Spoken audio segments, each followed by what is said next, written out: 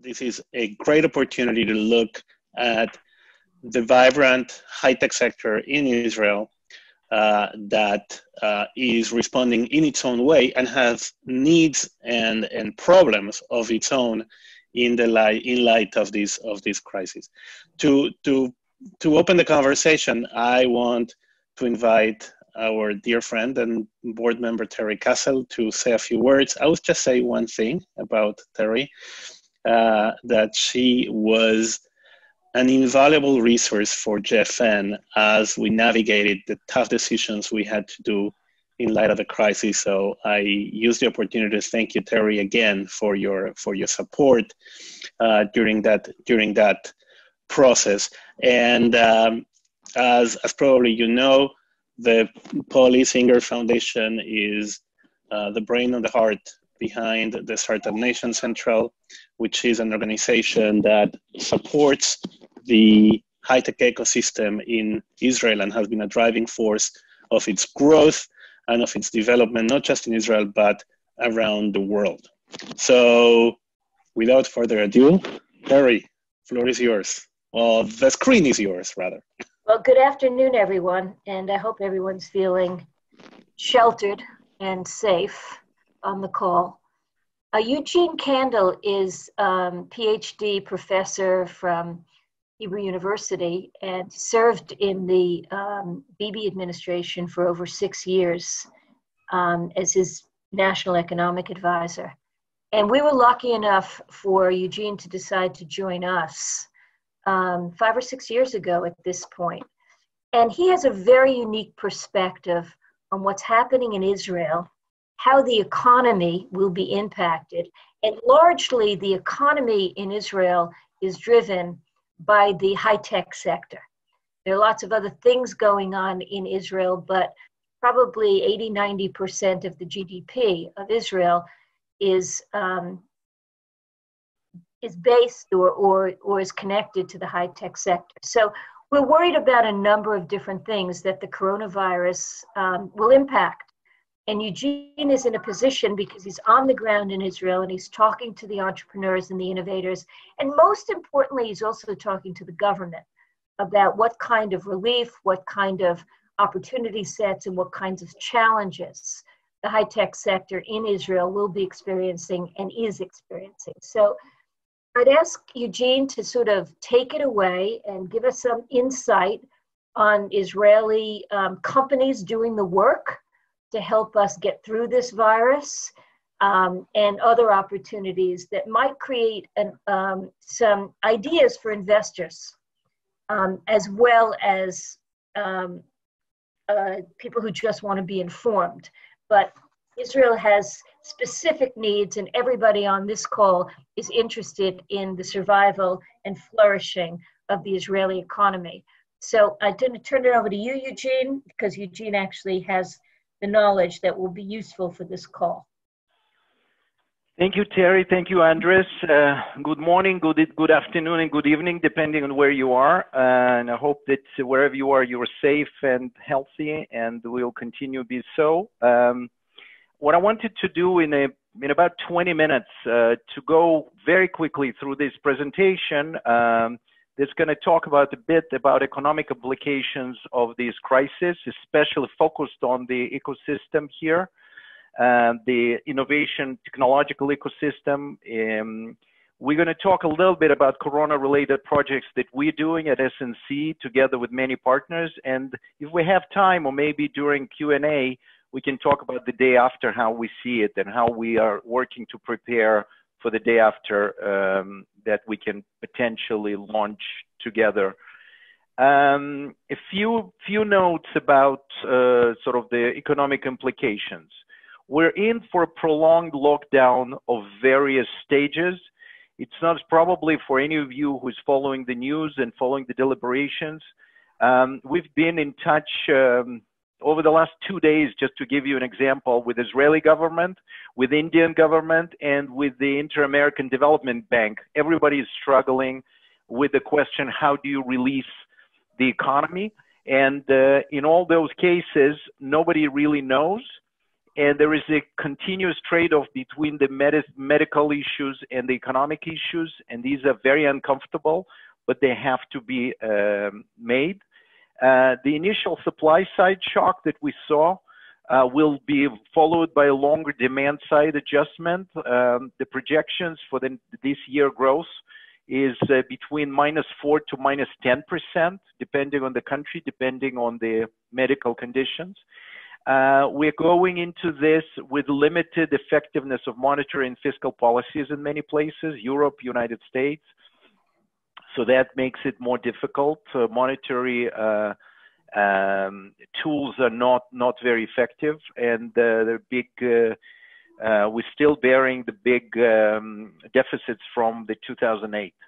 Some sectors been decimated completely and will take a very long time to to recover in the short run, something very relevant for Israeli tech is that the foreign investors, in Israel, they are very, very important. In 2019, they accounted for over 85% of all the um, venture investments are basically contracting into their local markets and will not show up here for quite a few months, maybe a year. So uh, economic implications for Israel, we're already at 25% unemployment, uh, even though Spain has been living with this for a while. In Israel is uh, un- unfathomable uh, to people that, and it may be rising quite rapidly after Passover because a lot of people were hesitant to lay off workers before Passover. There's a general market instability, contracts at risk. There is a t- terms of payments are changing, people taking basically law in their own hands and deciding which contracts they're going to honor, which not. There is a lack of trust in the government. There is um, uh, limits on, on the government after the third elections, and with the possibility of the fourth, this is not an easier way to, to, to, to deal with such a situation. The economic and financial position of the country luckily are very sound because um, uh, we have uh, uh, economic resilience because we are accustomed to dealing with crisis like wars and all kinds of military operations, which helped us to be sort of prepared for various um, extremal situations. And we're in a very good position in terms of debt to GDP ratio. We're about 60%, whereas the developed countries on average are above 90. So we have some leeway to accommodate the crisis.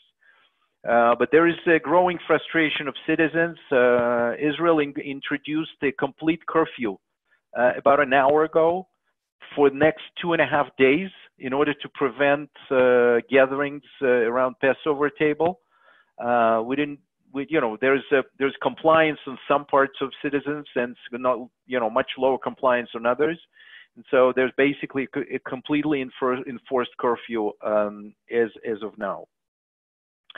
Uh, so the high tech uh, last year was a record year. Uh, the eight and a half billion dollars, growth of 40% over 2018 of VC investments. Uh, there is in the first two months were uh, the first quarter is actually a record quarter, 2.4 billion billion dollars of of, uh, of investments, and then it completely frozen.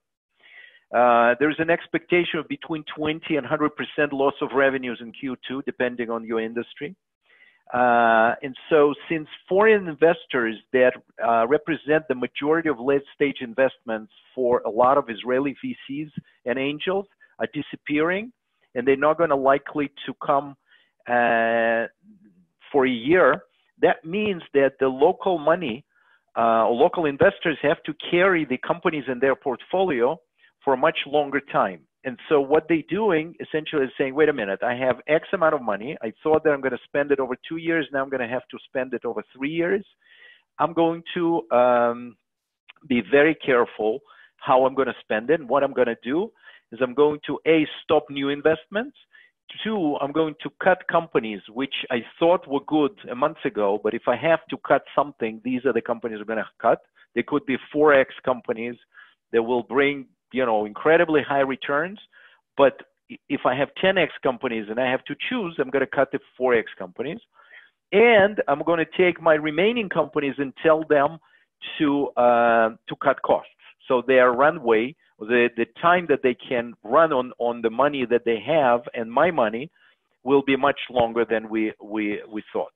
And so that could yield massive layoffs. You know, it's, it's really ironic that a month and a half ago, we had 60 articles when we issued a report on the shortages of human capital. Many of you heard me uh, speaking about this. It was an acute problem a month and a half ago. Today, the acute problem is massive layoffs in this industry. And what do we do with all these people? So this is a long-term threat to the industry. In fact, uh, uh, it needs help because it's a, basically it's a liquidity crisis. Uh, but the question is, will it get help? Well, uh, about a week ago, I wasn't yet sure. Today, I'm much more sure because I'm after extensive consultations with the with the budget department. They're actually rolling out a, a package of support for the industry. I'm very happy to to say that. Uh, but it's actually not very popular in the public because this industry is considered to be a rich industry, highly paid, and so they're saying, why why can't they take care of themselves? At the same time, of course, this is the driver, like Terry said, this is the driver of the growth for this economy, and so losing it will be devastating. So what do we do in, in this space? Uh, we actually, as SNC, we looked around uh, almost immediately after we sort of got accustomed to working uh, uh long distance. And we said, what can we do in this, in this space? And we said, there are two things that we can do. A, we need to uh, figure out how to help uh, the ecosystem itself to weather this storm, and two, how we can help the world uh, with uh, the technologies that the ecosystem produces. And so we've started doing both things in parallel. Um, one of the things that we immediately constructed is um, what this, you can see this map. This map is two weeks old. It's out of date completely. So this is only 70 companies in Israel that are uh, relevant for health tech for Corona. Today, there are already 90 companies that are relevant because Israeli companies are very quick to pivot. And uh, we have been uh, uh propagating this, this information around the world, especially around specific companies that we took and we think that can be helpful in a variety of ways to government, healthcare organizations, uh, and philanthropists or whoever is interested in helping.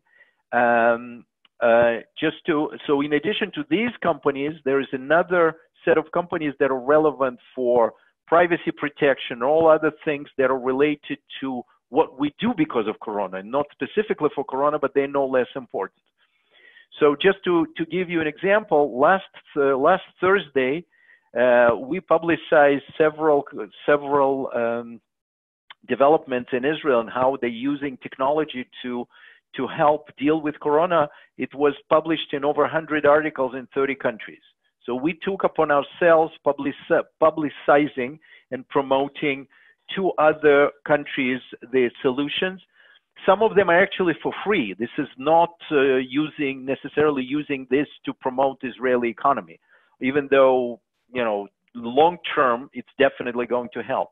But just to give you examples, like I said, we we had a discussion with the Indian government and connected them to to several uh, uh, solutions we had to this afternoon. I had a discussion with the president of uh, Inter-American Development Bank, who is thinking about already implementing two Israeli solutions to 26 countries in his region, and he wants to do much much more.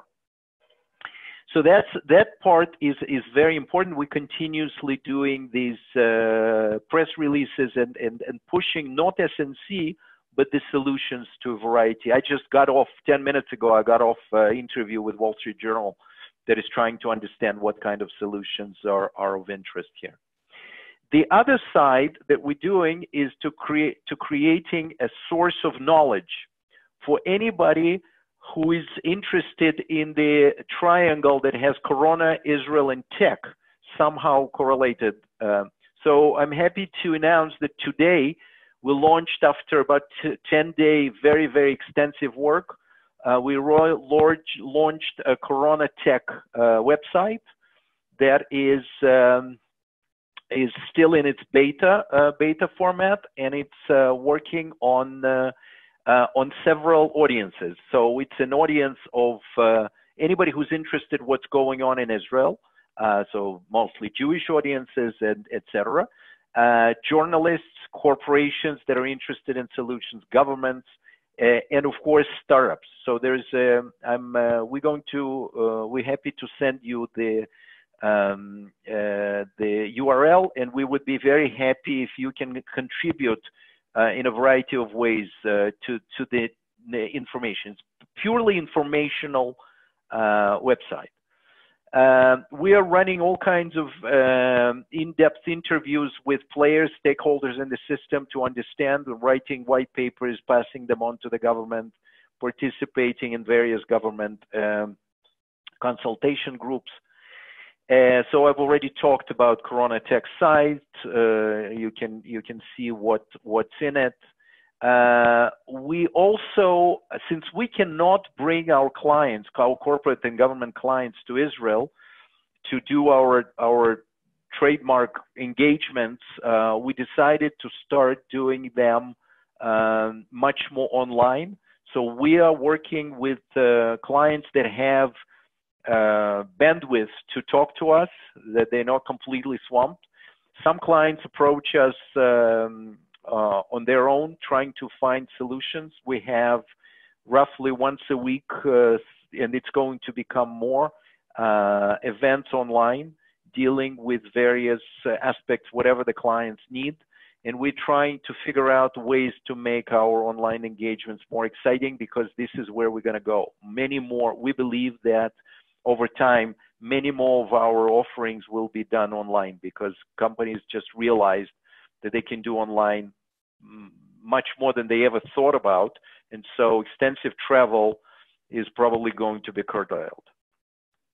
We're doing, uh, we're partnering with uh, Digital Israel, which is a government agency, uh, with IBM and others to uh, take to take advantage of this idle time that people uh, have uh, on their hands when they sit at home, including students, including uh, high-tech workers that have been temporarily put on on leave, and trying to retrain them, upskill them, and as well as bring some people who otherwise would not go and train to come into the high-tech industry uh, to really uh, re, re, uh, reskill themselves because we know that once this crisis is over, we're going to go back to the shortage of human capital. We would like to, to prepare these people for much more uh, interesting and, and productive careers, especially from areas which are not going to recover, like travel and ho- hospitality um, and uh, maybe um, restaurants, etc., which are not coming back anytime soon. Uh, I already mentioned that we are very involved in policy. Uh, uh, in terms of policy, we do uh, a variety of things. Like I said, uh, we are uh, gathering opinions on the uh, on what's going on in the industry. We are advising the government today. we saw sort of confidentially some of the things that the government's going to roll out. Uh, we can definitely see our our um, uh, stamp on those. We we our influence on those. Uh, we um, we also involved in designing technology-driven solutions for managing epidemics.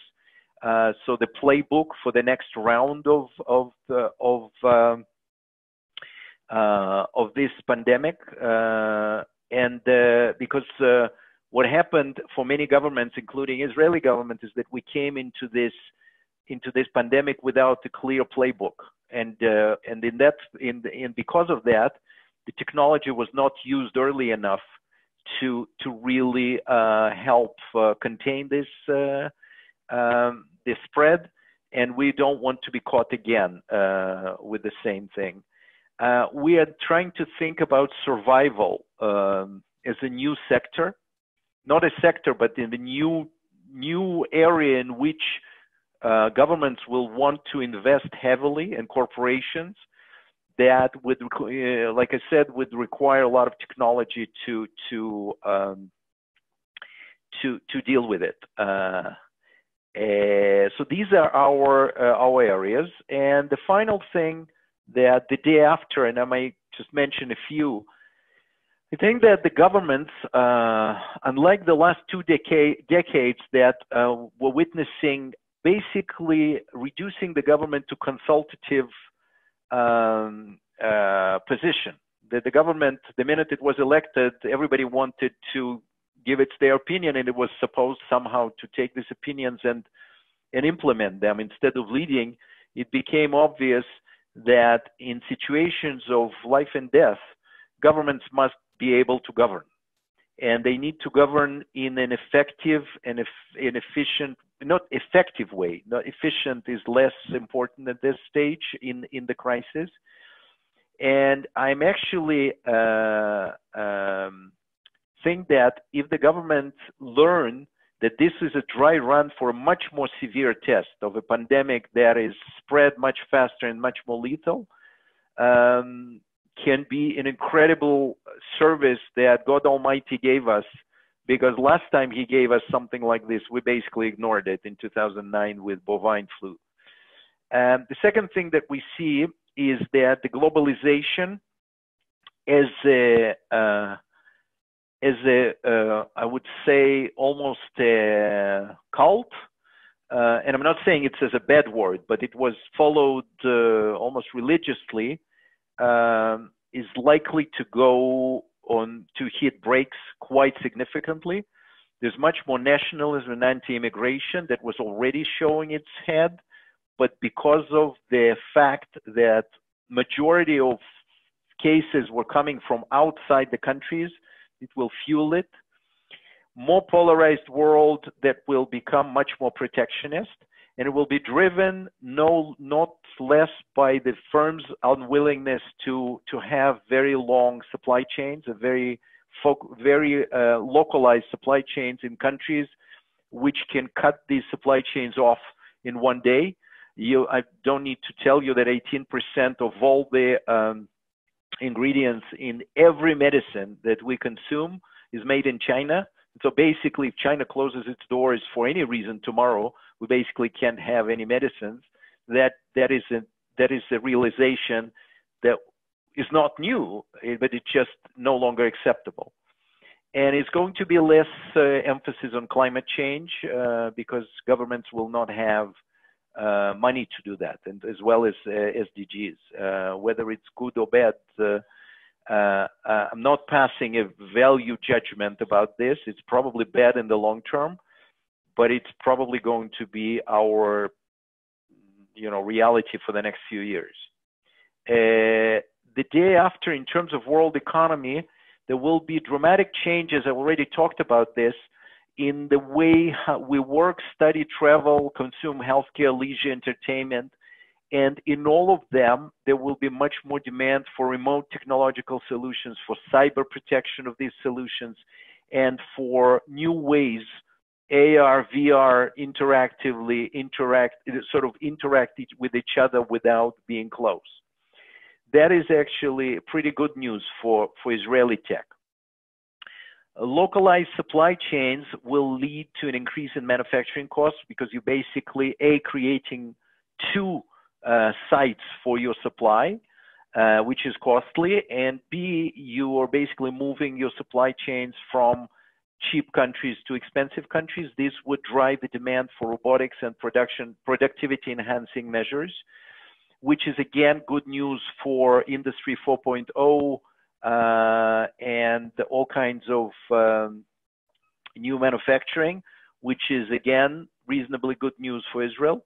And there's going to be drastic reduction of travel, which is going to create huge labor force change because transportation, hotels, uh, real estate industries are the most uh, labor intensive industries anywhere. And so uh, we're going to have to retrain uh, hundreds of thousands of millions of people in, in every country. And this has to be done online because otherwise it's just prohibitively costly. So this is again interesting. Um, and the last part about Israeli ecosystem uh, so localization and protectionism are not good news for an export economy like Israel. Uh, we may count on favorite nation status in the US, so that may be uh, good because it's our biggest market. But Europe, which is our second biggest market and almost exactly the same, uh, I'm not sure. It's not even clear whether Europe will survive as one entity because the pressures that almost tore it apart during 2008 and 2011 Greek, Greek crisis might actually tear it apart today because there will be very, very different uh, needs of different countries.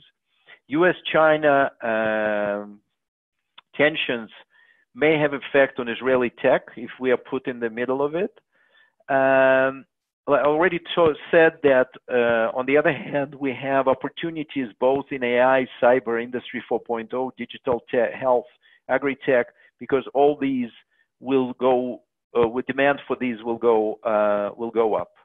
So we are here to, to help figure out, you know, we didn't know much about this a month ago. We are now much smarter about this, uh, gathering as much information, as much knowledge, as much insights about what's going on, trying to figure out how to help the ecosystem. We're happy for any partnership that we can have in ideas and uh, contacts, etc. So that's that's basically it. Thank you, thank you, Eugene. That was that was fascinating, and actually, it makes me think of of um, of a phrase from the Talmud that says, "Miu chacham molad," who is wise, the one who see a process when it's before it's being born, and and you are seeing a, processes in the long term uh, that are that are, that are that are being born just now, but you're seeing it with a, with a clarity that is admirable and this is not prophecy. Things may not unfold exactly as you say, but uh, it's really important to have folks like you thinking about alternative futures that we may face we may face in the days in the days ahead. So I'm going to ask you just a few questions, and then we're going to open it up for for folks um, in the in the audience to to ask their own questions. But I want to start by by these. Um, you know, COVID is you know, I compared it earlier on to an earthquake and a tsunami. You know, COVID is the earthquake, economic disruption is the tsunami that comes after the earthquake. So, can you tell me, can you tell us one example of a, a company that is dealing with the earthquake and a company that is dealing with that is that is prepared to deal with the tsunami that will come after for folks to understand concretely what these technologies can do? Well, I think I think that uh, I would separate uh, because tsunami is going to be economic downturn, and I don't think that um, dealing with tsunami is uh, uh is, techno- is technology is particularly helpful because these are mostly governments, etc. But within that tsunami, there will be a lot of challenges that companies will face and some challenges that governments will face and technology could be useful for those and so I'll, let me give you a few examples so first let's talk about the earthquake so uh, in the earthquake you need to figure out first of all how to you know understand where the earthquake is going to ruin your, your cities. And it's a slow earthquake. It, it's not just erupts and, and that's it. It's, it's, um, it's like almost more like, a volcano eruption. You need to predict in which direction it's going to go so you can evacuate people. And there are companies in a variety of areas that are helping, first of all, in terms of data and identification. So one one uh, it's not even a company. It's just a bunch of people that got together and, and didn't sleep for three weeks and put together a, an app that allows you to install it on your on your um, telephone. It's called the Shield. Uh, in the first three days, more than a million and a half Israelis installed it. It basically tells you whether you were uh, in the vicinity of somebody who was infected.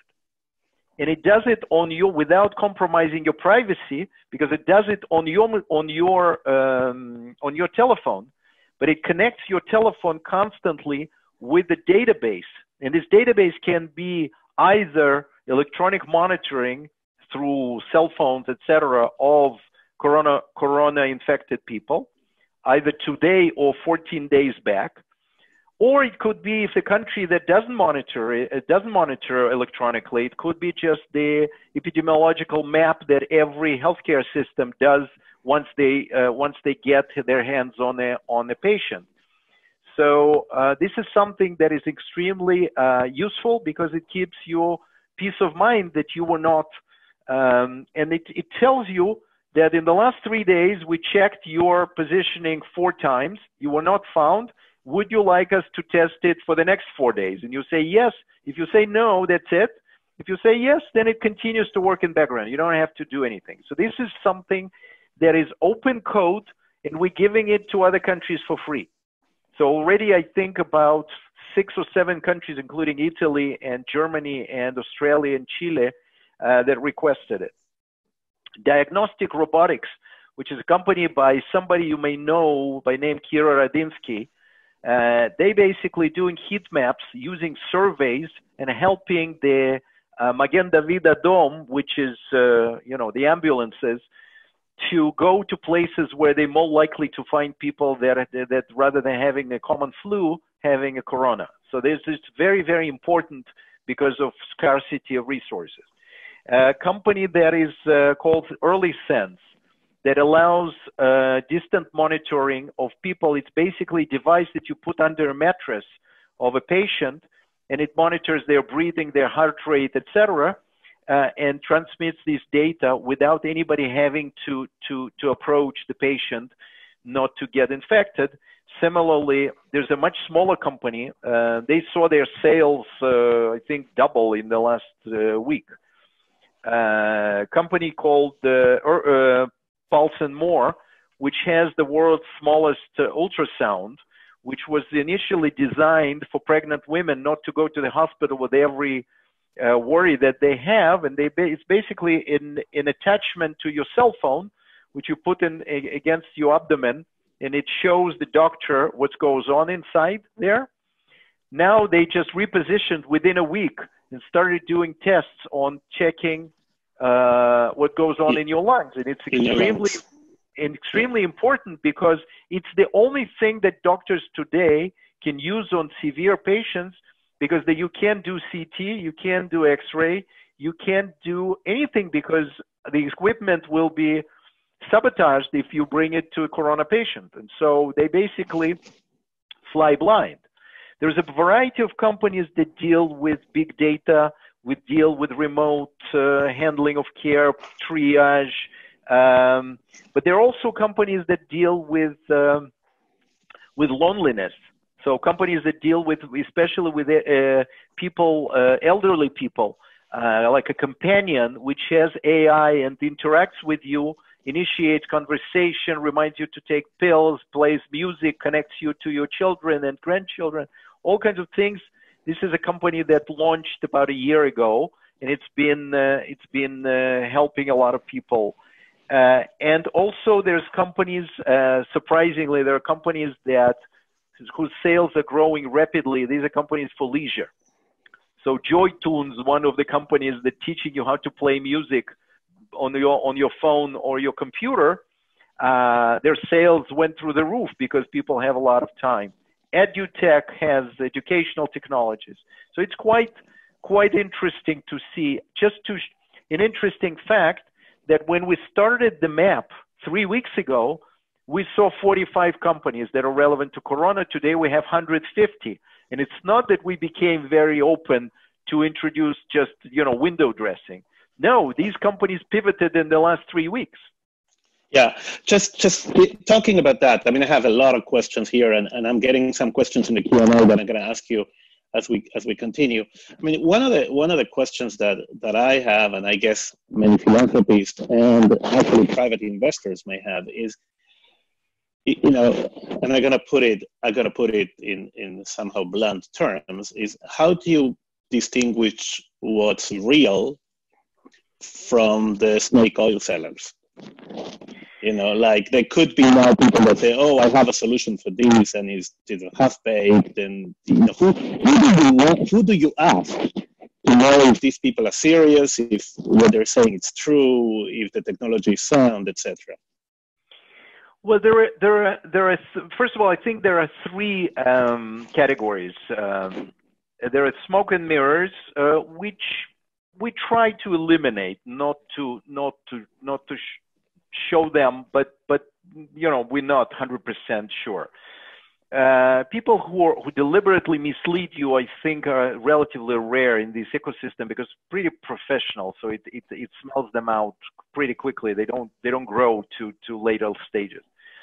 There are, of course, very dangerous uh, technologies that have you know high probability of failure. They have less dangerous, and then they have already proven technologies. Yeah, risky, so, not dangerous. Well, risky. Yeah, yeah, of course. Yeah, yeah. Not dangerous. Sorry, you, you're of course right. So the question is whether if the investor has a lot of expertise in particular technological field, then I think that investor can figure that out. But if the investor can, does not have expertise, we strongly recommend not to venture into direct investment into small companies unless you co-investing with somebody you trust who has expertise in that space and did due diligence. And so, uh, but having said that, we believe that today investing in Israeli tech, uh, and I would say across the board as a portfolio, even if the many companies will fail, is an incredible opportunity, and I'll explain why. Because uh, as I mentioned, the value of Israeli tech has uh, increased because it will more, be more needed after this crisis than was needed before. Mm. But the valuation of Israeli tech has declined because for two reasons. A, the go-to-market timing uh, was increased by about a year, at least. So that that makes it you know less valuable to, today, and it actually rewards patient investors. And the second thing is that there are many fewer investors today in this market, and they're much more cash constrained. So the deals that would have gone to Sequoias of the world and Kleiner Perkins of the world today can go to Israeli investors, but Israeli investors are, are cash constrained because they have to spread their cash much more carefully. So if you co-invest with them in a variety of forms, and that's what we're actually arguing for the Israeli institutional investors and even Israeli government, then you have lower valuation today and higher valuations uh, in the future and access to deals. So this is the ultimate situation, which has unbelievable um, double bottom line because it basically helps Israeli economy through helping all these companies become much more mature in a year, two, three, four. And the second thing that it helps is that it actually can create uh, returns to impact investors and philanthropic investors, which can be spent on good things. So it's it's a great it's a great uh, time to to invest in my opinion. Great, that's that's very helpful. And um, one of the things that I, that I was thinking as I was hearing you is that you know we have a lot of folks at the JFN network that are interested or have an extensive work in impact investing. And many of the Israeli companies were not considered truly impact investing. You know, impact investing are which ones in which your mission sort of overrides your your your your desire to make profit or you're willing to sacrifice short-term profit for you know fulfilling a philanthropic goal but now it appears that many companies that wouldn't wouldn't have been considered impact in the past or in a normal situation could be considered impact now because their situation became precarious and the technologies that they're developing became much more important to to solve the crisis or to help in the crisis. Do you, Yeah, I think that you're absolutely right. We actually started thinking about impact investors as a potentially a very interesting group for Israeli tech but the problem with this, with with impact investment is that when we showcase in our Finder platform, say almost 6,500 companies and another 500 companies that we have that are in stealth mode, uh, impact investor cannot go and use their irregular tools to go through every company and figure out whether they have impact or not. So what we decided to do, and we launched it I think about three months ago, uh, um, we created an SDG uh, tag within Finder where we did uh, uh, an automated algorithm that went through explain, all. Sorry, explain what's an SDG. SDG is these uh, Sustainable Development Goals uh, for Okay. for for uh, the UN Sustainable 17 Sustainable Development Goals. We created a relatively simple algorithm, which we hope to improve in the future when we get to it. That basically goes through 7,000 companies uh, or 6,500 companies and identifies about 500 of those that it's worthwhile for an impact investor to look at. And if, especially if the impact investor is interested, let's say, in financial inclusion, then they can put fintech as one tag and SDG another tag, and they will get probably 40, 50 companies. Uh, and then it's much more manageable for them because we already pre-screened them for them. So that's one thing, and I strongly encourage anybody who is interested in this to either look at Finder or to contact us, and we would be happy to walk them through it.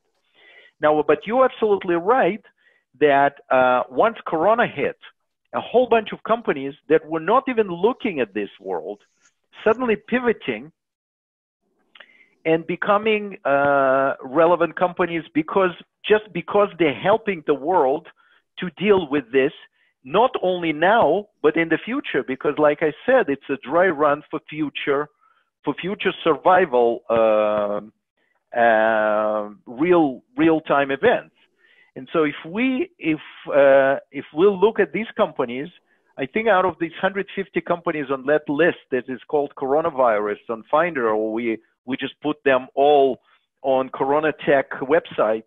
Um, these uh, these almost all of them, or vast majority of them, except the gaming ones, are are, are also impact because um, uh, and I think that uh, more and more uh, companies, if impact investors come to Israel and start looking for them, and we can publicize them, that will bring more and more companies to pivot and start looking for impact, not as a window dressing, but as a real, uh, real uh, concern, a real uh, um, t- t- target uh, because they will understand that this will bring them investments and they could be doing good and by doing well as well.